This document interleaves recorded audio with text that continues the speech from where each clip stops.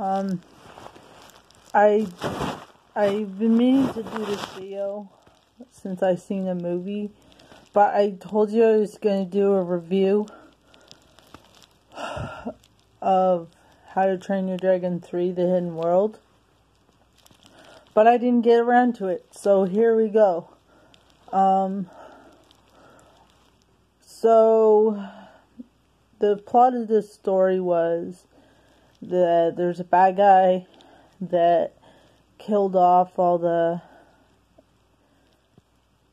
night furies except for Toothless and also there was a light fury which was a white a white version of the night fury and um I don't know why I'm so out of breath. Um,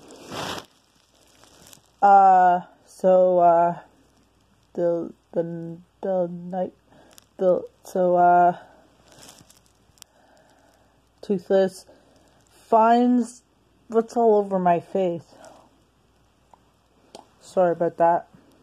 Um, Toothless finds the Light Fury. They fall in love. They become mates. In the end, they have babies together. And in the end, the dragons all go back to their home, the hidden world. And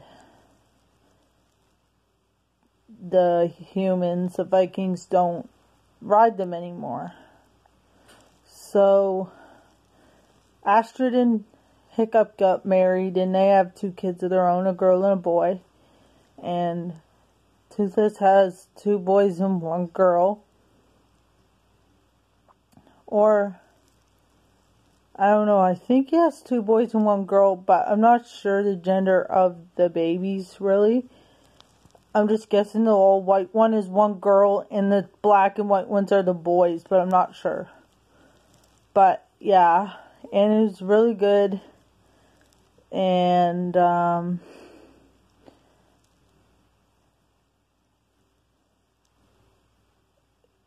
was thrilling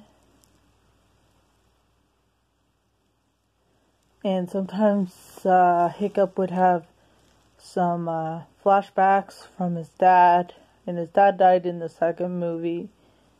And eventually they defeat the bad guys. And everybody's happy in the end. So I gotta say that was a really good movie and I rate it 10 out of 10. So that's my review. Bye.